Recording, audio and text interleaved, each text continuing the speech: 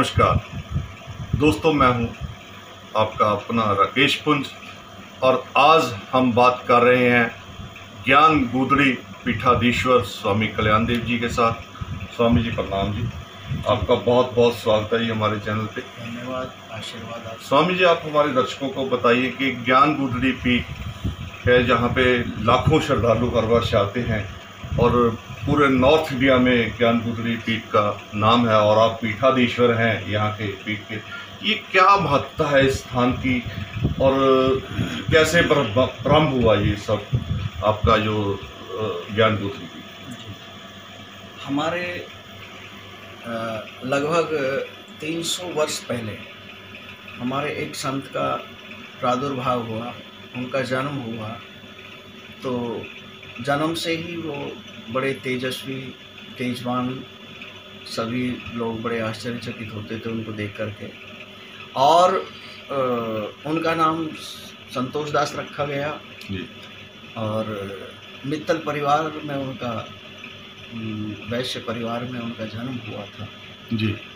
तो उन्होंने धीरे धीरे जैसे जैसे बड़े हुए तो बस एक अपने परमात्मा के भजन में ही लगे रहते थे परमात्मा के ही ऐसे ही कृत किया करते थे।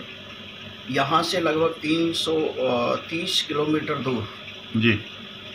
चुडानी धाम है वहाँ पर आचार्य गरीबदास जी का प्रादुर्भाव था। जी। और आचार्य गरीबदास जी साक्षात पूर्ण ब्रह्म के अवतार थे संत के रूप में। जी। उन्होंने आचार्य गरीबदास जी को अपना गुरु बनाया। गुरु बनाने के बाद वो बस अपने बैराग में ही रहते थे। जी। परिवार वालों ने उनकी शादी भी की लेकिन शादी उन्होंने एक्सेप्ट नहीं की। जी।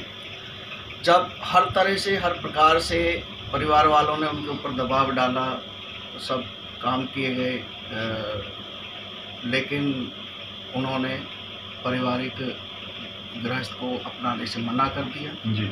उन्होंने कहा कि मैं तो सन्यासी हूँ सन्यासी ही रहूँगा मुझे आवश्यकता नहीं है। जी। तो उसी विवाद में जब किसी प्रकार की किसी से भी उन्होंने किसी की भी बात नहीं मानी तो आचार्य गरीबदास जी ने उनको एक लोई उड़ाई जिसको ज्ञान गुदड़ी का जी। वो नाम दिया गया। जी।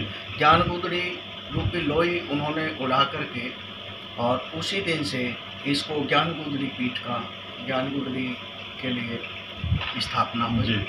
तभी से ये ज्ञान गुदड़ी जी। बोला जाता है इस स्थान को। जी। और वर्ष में एक महोत्सव होता है। आ, हर साल यहाँ पे महोत्सव होता है। वो कौन कौन से महीने में किस महीने में आता है किस डेट को होता है? मगशिर मगशिर के म- महीने की लगभग वो जो अमावस्या के बाद जो दूती आती है दो जाती है जी। उसको उनका जी। प्रादुर्भाव हुआ तो ज्ञान गुदड़ी महोत्सव का जी।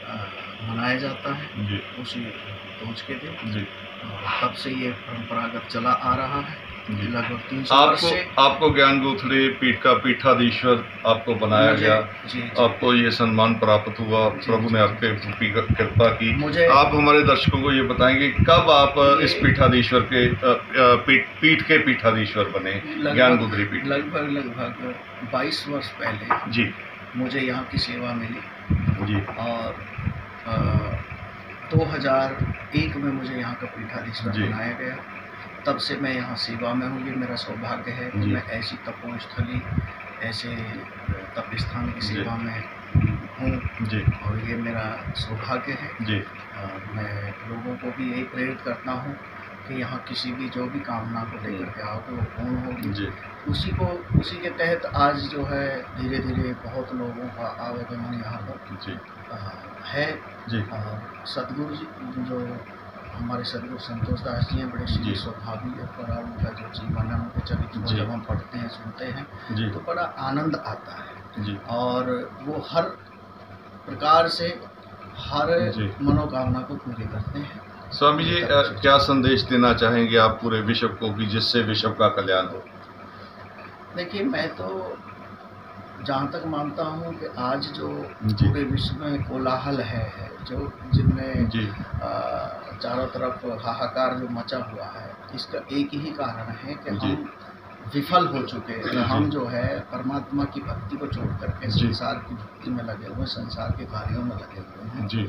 और परमात्मा के नाम के आधार पे ही जीवन अगर हम जिया जाए परमात्मा के नाम के आधार को लेकर के जीवन को जिएँगे तो अनेक प्रकार से सुख समृद्धि अपने आप क्योंकि अर्थ धर्म काम मोक्षणा पूर्ण करे सिताब मनसा के दाता से ही देवे नहीं जी। जब वो अपने आप हमें देते हैं क्योंकि उसी ने हमको भेजा है। उसके नाम को अगर हम भूल जाएँगे तो जीवन में कराहट ही कराहट है और उसके नाम को लेकर के चलेंगे तो जीवन में आनंद ही आनंद है। मैं सभी को यही कहना चाहूँगा कि परमात्मा के नाम को कभी भी कभी मत भूल सदगुरु को जमाना खाक सारी है ध्यान धर हर घड़ी उसका जिसकी तो फुलवारी है जिसने तुझे बनाया है उसका हर पल हर क्षण ध्यान देना चाहिए। नाम को भूलेंगे तो कहते हैं कि नाम लिए से सब बढ़े रिंचक नहीं कसूर।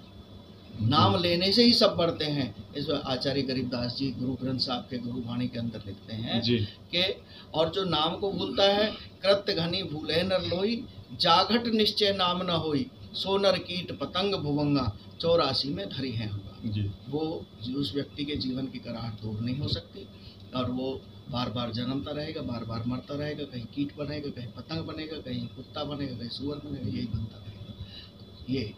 दोस्तों, बातें तो बहुत ज़्यादा हैं जो स्वामी जी से हमें ज्ञान प्राप्त करने के लिए करनी चाहिए, लेकिन समय के अभाव के कारण हम स्वामी जी से क्षमा मांगते हैं। हम फिर मुलाकात करेंगे किसी और नई शख्सियत के साथ। अब इजाज़त दीजिए। नमस्कार।